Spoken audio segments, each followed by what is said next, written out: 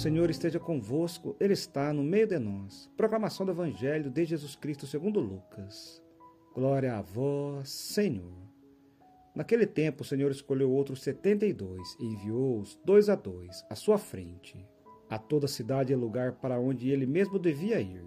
E dizia-lhes: A colheita é grande, mas os trabalhadores são poucos. Pede, pois, ao Senhor da colheita que mande trabalhadores para a sua colheita. Eis que vos envio como cordeiros para o meio de lobos. Não leveis bolsa, nem sacola, nem sandálias, e não vos demoreis para saudar ninguém pelo caminho. Em qualquer casa em que entrardes, dizei primeiro: A paz esteja nesta casa. Se ali morar um amigo da paz, a vossa paz repousará sobre ele. Senão, ela retornará a vós. Permanecei naquela mesma casa, comei e bebei do que tiverem porque o trabalhador tem direito ao seu salário. Não passeis de casa em casa. Quando entrardes numa cidade e fordes bem recebidos, comei do que vos servirem. Curai os doentes que nela houver, e dizei: O reino de Deus está próximo de vós.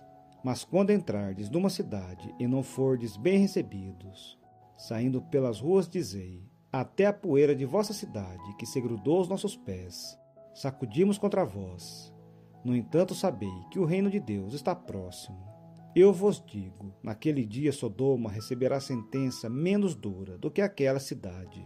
Palavra da salvação. Glória a vós, Senhor. Que as palavras do Santo Evangelho perdoem os nossos pecados. Hoje, Jesus nos fala da missão apostólica. Porém, escolheu outros setenta e dois enviou-os dois a dois a proclamação do Evangelho é uma tarefa que não pode ser delegada a uns poucos especialistas. A proclamação do Evangelho é uma tarefa que não pode ser delegada a uns poucos especialistas. Todos estamos chamados a essa tarefa e todos vamos sentir responsáveis dela, cada um desde seu lugar e condição. A colheita é grande, mas os trabalhadores são poucos. É interessante esse sentido positivo da missão pois o texto não diz: há muito para semear e poucos trabalhadores. Talvez hoje teríamos que falar desse jeito, pelo grande desconhecimento de Jesus Cristo e sua igreja e nossa sociedade. Um olhar esperançoso da missão gera otimismo. Portanto, não nos podemos deixar abater pela desilusão e a desesperança. No início, a missão que nos espera é ao mesmo tempo apaixonante e difícil. O anúncio da verdade e da vida é a nossa missão e não pode nem deve pretender forçar a adesão. Pelo contrário, deve suscitar uma livre adesão. É quando as pessoas se entregam de corpo e alma e coração a Jesus Cristo. As ideias devem se propor e não impor. O missionário anuncia a paz, é portador de paz, porque leva a Cristo, o príncipe da paz.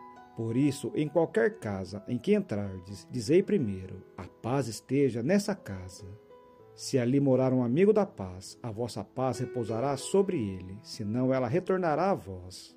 A paz é Jesus Cristo, e se Jesus Cristo está conosco, temos que levar a todas as pessoas do mundo, a nossas famílias, nosso trabalho, na escola, roda de amigos, em todos os lugares pois o mundo hoje tem necessidade de paz e a nossa missão é urgente e temos que fazer de coração.